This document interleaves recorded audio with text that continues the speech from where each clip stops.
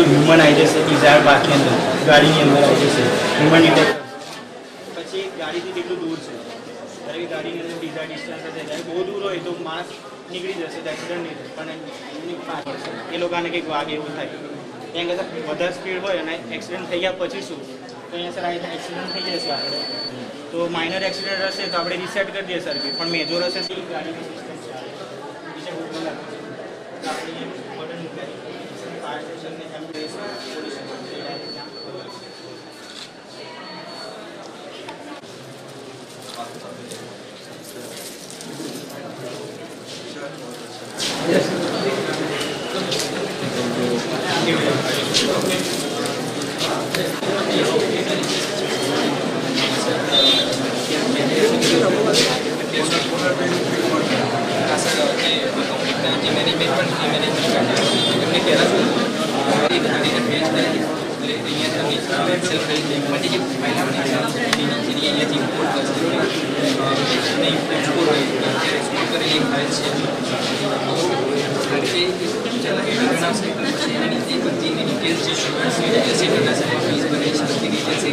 Automatically set કરશે અને પછી એટલે જે કામ એક થી ત્રણ કલાકમાં તો જગ્યા ત્યાં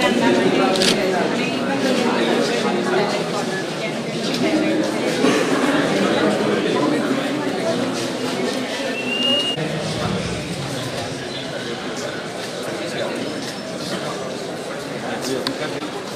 મને આપજો તમે માત્રા બતાવો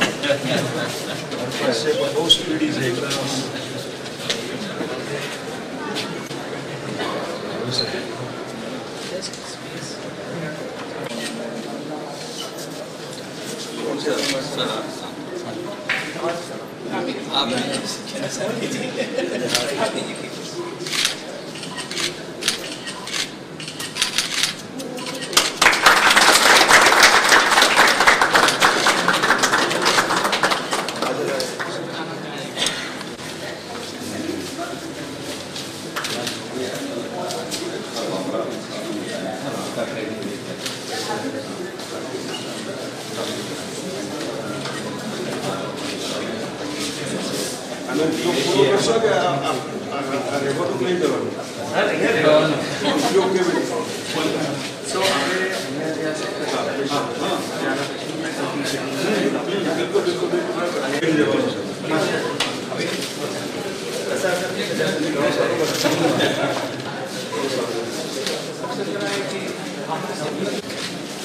एक्शन कहते हैं वो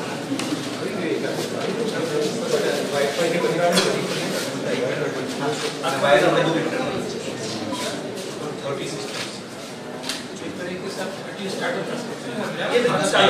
इनोवेशन सेंटर तरह से ही काम करना है इसको so that students can come, they can learn and they can start implementing right from home itself. So, Abhisar, we have done this case here. We have the best apps and other students. We have the revenue monthly work that is on iOS ecosystem in mind. Although, Anup for the Android development, we can make So, both uh, platforms are available. The first two module, Abhisar, start first. We have timed modules of 60 uh, hours, 64. that module will start with the basics intermediate and advanced so the all stages of development they will learn and then they can start their development અને sir ગુજરાતમાં કરેલું છે આપણે સારું કહેવાય એટલે મને બહુ ભાવે.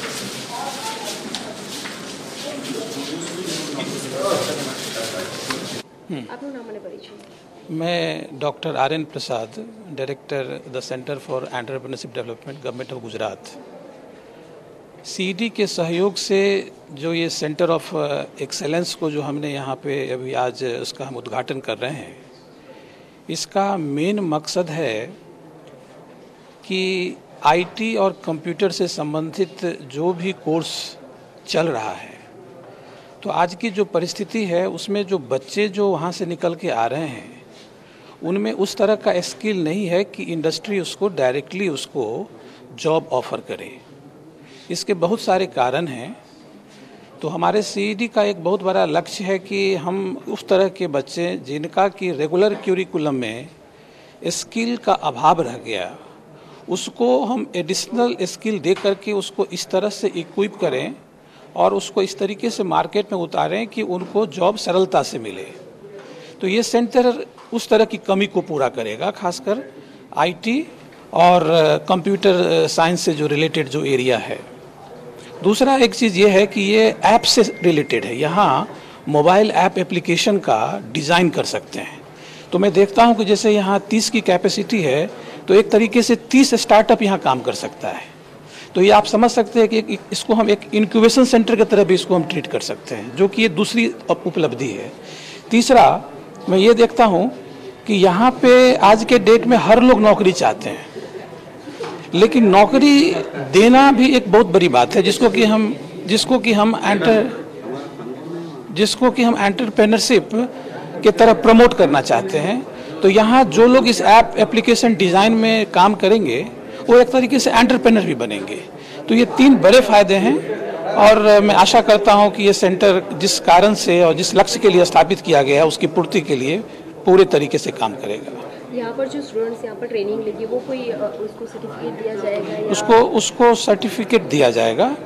उसको सर्टिफिकेट एक तरीके से इस सेंटर पे जो भी कोर्स होंगे उसको थर्ड पार्टी सर्टिफिकेशन ज़रूरी है। तो कोई ना कोई थर्ड पार्टी गवर्नमेंट रिकोगनाइज वो उसको सर्टिफाई करेगा। सर अपना नाम परिचय? मारू नाम है Devang Modi managing director of I value Systech private limited Mobi research સેન્ટરનું અહીંયા ઉદ્ઘાટન કરવામાં આવ્યું છે. શું ઉદ્દેશ્ય છે અને કયા પ્રકારના વિદ્યાર્થીઓ અહીંયા ટ્રેનિંગ લેશે?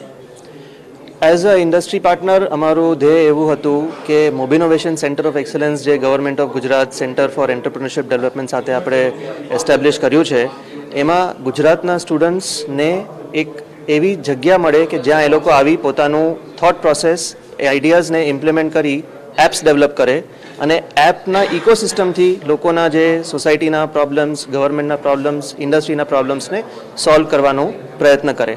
એટલે આપણે આ એક વર્લ્ડ ક્લાસ ફેસિલિટી ઊભી કરેલી છે. જે ટ્રેનિંગ છે વિદ્યાર્થીઓની, તો એ કેટલા ટાઈમ ડ્યુરેશનની રહેશે કયા વિદ્યાર્થીઓ આમાં ટ્રેનિંગ લઈ શકશે?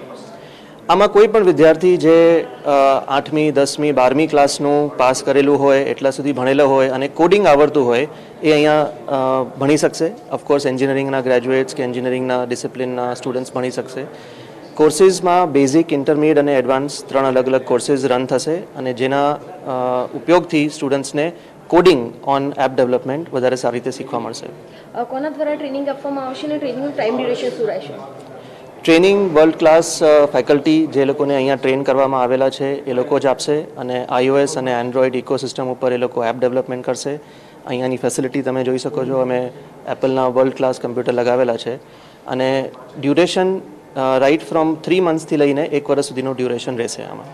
કોઈ સર્ટિફિકેટ આપવામાં આવશે અને પ્લેસમેન્ટને લઈને કેવી રીતે ખાતરી આપવામાં આવશે? ડેફિનેટલી એક સર્ટિફિકેટ ઓફ કમ્પ્લીશન આપવામાં આવશે દરેક સ્ટુડન્ટને સાથે સાથે પ્લેસમેન્ટ ઇન્ડસ્ટ્રીની અંદર અને ઇન્ક્યુબેશન સેન્ટરની અંદર કે જ્યાં એ લોકો પોતાના આઈડિયાઝને આગળ લઈ અને આખી એપનું ડેવલપમેન્ટ પ્રોસેસ કમ્પ્લીટ કરી લોન્ચ કરવા સુધી કે કંપની ચાલુ કરવા સુધી આખું અમે લોકો એનો સહાયતા આપશું. બાપુ ગુજરાત નોલેજ વિલેજ કેમ્પસ ખાતે મોબિલોવેશન સેન્ટરનું આજે ઉદ્ઘાટન કરવામાં આવ્યું છે. ખાસ કરીને ગુજરાત સરકારની સહાય, એક પોઈન્ટ અગિયાર કરોડની સહાય થકી ગુજરાતનું આ પ્રથમ સેન્ટરનું ઉદ્ઘાટન આજે કરવામાં આવ્યું છે. ખાસ કરીને જે લોકો આઈટી સેક્ટરમાં ટ્રેનિંગ લઈ રહ્યા છે, જે બાળકો અને ખાસ કરીને જે બેરોજગાર છે, તે તમામ લોકોને અહીંયા માહિતી પૂરી પાડવામાં આવશે. એક ટ્રેનિંગ કોર્સ આપવામાં આવશે ત્રણ મહિનાનો અને ત્યારબાદ તેઓ આઈટી સેક્ટરમાં પોતાની પ્લેસમેન્ટ લઈ શકશે તેવી અહીંયા એક સગવડ ઊભી કરવામાં આવી છે. ગુજરાતનું આ પ્રથમ સેન્ટર એક પોઈન્ટ અગિયાર કરોડને સરકારની સહાયના ફંડિંગથી ઊભું કરવામાં આવ્યું છે. કેમેરામેન અક્ષય પટેલ સાથે રિપોર્ટર ગાયત્રી પંચાલ, નિર્માની અમદાવાદ. બે હજાર નવમાં અહીં ગુજરાત નોલેજ વિલેજ એટલે આપણે એને ગામડું નામ આપ્યું છે. અને જ્ઞાન સાથે એને જોડ્યું છે. એ વખતે જીટીયુના સેન્કશનથી લગભગ એન્જિનિયરિંગ એટલે ટેકનોલોજી, ગુજરાત ટેકનોલોજી યુનિવર્સિટી અને ફાર્મસી શરૂઆત કરેલી. અત્યારે તો લો કોમર્સ સાયન્સ પછી નર્સિંગ ઘણી, ઘણું બધું જેમ જેમ અનુકૂળતા આવે એમ નવા નવા કોર્સીસ શરૂ કરીએ છીએ. આજે જે આઈઓએસ એક મોબાઈલ એપ્લિકેશન્સ, એ જે એનું ખાસ ઉદ્ઘાટન કર્યું અહીં, અને લગભગ ચોસઠ કલાકનો એનો કોર્સ છે, લગભગ ત્રીસ એના એપલ કોમ્પ્યુટર્સ લાગેલા છે અહીં. અને કોઈ જાતના ઉંમરના બાદ સિવાય ડિગ્રીના બાદ સિવાય સારી રીતે એને શીખી શકાય અથવા સમજી શકાય, એનું પણ ઉદ્ઘાટન કર્યું છે. તમે જરા મુલાકાત લેજો. બહુ સારી વસ્તુ છે અને લગભગ ચાર પાંચ વર્ષ સુધી અહીં જ રાખવાના છે. કારણ કે આઈઓએસનું અહીં ગુજરાતમાં નથી એન્ડ્રોઈડ ને બાકીના બધાનું જે કંઈ હોય, મારો આ વિષય નથી, પણ આજના જમાના માટે અનુકૂળતા પ્રમાણે ત્યાં રાખેલું છે. સવિશેષ જે શિક્ષણ માટે મને વેદના એ છે કે તમે હજી એડમિશન ન આપી શકતા હોય તો એ શિક્ષણ ખાતું હોય તો એ શું ન હોય તો એ વખતે ધોરણ નક્કી કરેલા કે વીસમી જૂન પહેલાં તમામ એડમિશન ક્લિયર થઈ જવા જોઈએ અને એકવીસ જૂનથી કોર્સ શરૂ થઈ જવા જોઈએ. ચાહે ટેકનિકલ હોય, બીજા હોય લો હોય સાયન્સ હોય એક્સ વાય ઝેડ જે તમારા હાથમાં હોય તો તમે કરો. એટલે મારી સમજણ બહાર છે કે જો એડમિશન તમે ના આપી શકતા હોય તો હવે તો ટર્મ પૂરી થવા આવી અને આખી ભાવિ પેઢી સંકળાયેલી છે એવું આ શિક્ષણ. એમાં એમાં સરકારી તો પ્રિન્સિપાલો ન હોય ફેકલ્ટીઝ ન હોય. એટલે છેલ્લા ઘણા વર્ષોથી ખાડે ગયું હોય શિક્ષણ એવું લાગે છે. હું ઈચ્છું કે ગુજરાત સરકાર આની ચિંતા કરે નવી પેઢી માટે ચિંતા કરે અને આ નહીં થાય તો છેવટે અંદર જે જે તૈયાર કરવા માગે છે છોકરાઓને એ એ એ તૈયાર ન થાય તો એનો અજંપો સરકારે ફેસ કરવો પડે આવું બને એટલે આ નહીં સારું. જી. એટલા માટે કે શિક્ષણ ખાતામાં કોઈને રસ નથી. મારા અનુભવમાં એવું મને આવ્યું કે શિક્ષણ ખાતું લેવા કોઈ તૈયાર નથી. વરાણે મિનિસ્ટરને શિક્ષણ ખાતું આપવું પડે છે. મેં સામેથી મારી પાસે રાખેલું કે આ એવી વસ્તુ છે કે જેમાં આવતીકાલનું જનરેશન સંકળાયેલું તમે એનાથી ભાગો એ કેમ ચાલે? શિક્ષણ એ કરપ્શનનો વિભાગ નથી. મેં એને ખાતું બદલીને વિભાગ નામ આપેલો. અને અને શિક્ષણ, શિક્ષકો નહોતા તો બાલ ગુરુ સ્કીમ ચાલુ કરી. ઓરડા નહોતા, શાળાના તો. આત્મારામ કાકા ડિસ્ટ્રિક્ટ બેંકના ચેરમેન હતા. મેં કીધું, કાકા, તમે મહેસાણા જિલ્લામાં કમસે કમ જે શાળાઓમાં ઓરડા ન હોય એનું દત્તક લઈને બેંક આ સ્કીમ આજે બી સરકાર ઓરડા શરૂ કરવા માટે ડિસ્ટ્રિક્ટ બેંક જે પ્રોફિટ કરતી હોય, એને કહેવાય, નાગરિક બેંક હોય એને કહેવાય, જે પ્રોફિટ મેકિંગ હોય અને કોઓપરેટિવ હોય, કે તમે તમે આ આ ચાર શાળાના ઓરડા અમને બનાવી આપો. સરકાર ગ્રાન્ટ હોય કે ના પણ હોય. ઓરડા અને શિક્ષકો બાલગુરુ કરીને પાંચ વર્ષમાં એ રેગ્યુલર શિક્ષક બની જાય. તો શિક્ષકો જ નહીં હોય અને બેસવાની વ્યવસ્થા ના હોય. તો આમાં ભાવિ પેઢીનું થવાનું શું? એટલા માટે અજંપો હોય એ સ્વાભાવિક છે.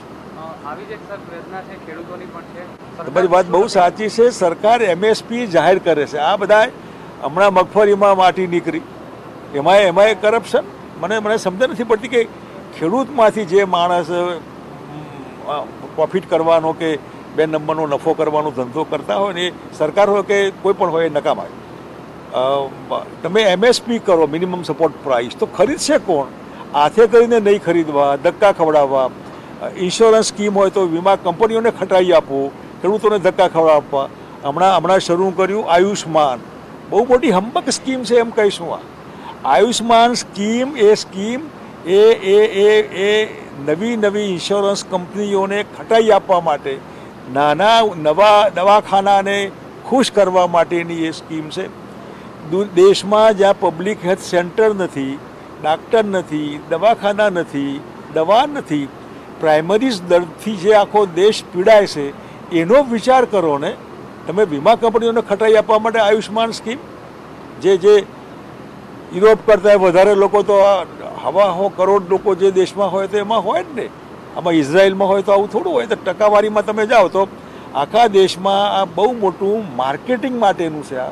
અમલીકરણ આનું કંઈ નથી.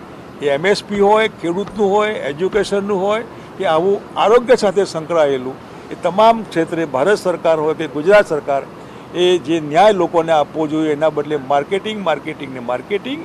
માર્કેટિંગમાં તમે માર્કેટિંગ કરો, સારું પેકેજિંગ કરો, પણ પ્રોડક્ટ્સ બી સારી નીકળવી જોઈએ. આમાં પ્રોડક્ટ્સ હોતી જ નથી. ખાલી ફ્રેપ હોય. ખાલી ખોખું, ખોખામાંથી માલ નીકળવો જોઈએ એ એ એ નથી નીકળતું. બાપુ મુખ્યમંત્રી રહી ચૂક્યા છો. સિંહોનો વધુ બે સિંહના થયા છે અને હજુ કોઈ એનો ઉકેલ આવતો નથી. આપણા એશિયાઈ સિંહો જ્યારે આ રીતે મરવા માંડ્યા હોય અને સરકાર કશું સી એના માટે જે ચિંતા દાખલા તરીકે પ્રાઇવેટ કૂવા ઉપર જારી સરકારે નાખી જવી જોઈએ. જે કૂવા પ્રાઇવેટ ખેડૂતોના હોય, એમાં ખુલ્લો હોય છે. એના પર સરકાર જાળી નાખી દે ને લોખંડની. લોખંડની જારી નાખી દે, એમાં ખેડૂતને ઉતરવું હોય તો રાખે એક જગ્યા આમ તેમ કરીને જઈ શકાય. મોટર કરવું હોય જે કંઈ કરાય. અને જે સિંહોને અત્યારે તો એને એટલા બધા પ્રાઇવેટ કોમ્પિટિશનમાં રિસોર્ટ થઈ ગયા છે એના દર્શન કરવા માટે સિંહોને ખોટી લાલચ આપવી, દૂર સુધી લઈ જવા, કંઈક નાખવું, ખવડાવવું, એટલે આવી રીતે સરકારે ચિંતા કરવી જોઈએ. નેચરલ મૃત્યુ એક વાત છે અને સરકારની આરસથી જે મૃત્યુ થાય છે, આ આ સિંહોને મધ્યપ્રદેશ લઈ જવાની વાત હતી. એ દલીલને દમ મળશે તો સિંહો મળી જશે તો આ લોકોને મધ્યપ્રદેશ શિફ્ટ કરી દેશે સિંહોને. તો ગુજરાત સરકાર ખાલી વાતો કરશે કે સિંહો નહીં જવા દે, નહીં જવા દે, સાચવો એમને? એ એ, એ- પશુ છે? પણ એને સાચવવું જોઈએ. એને બી જીવ છે ઓકે થેન્ક યુ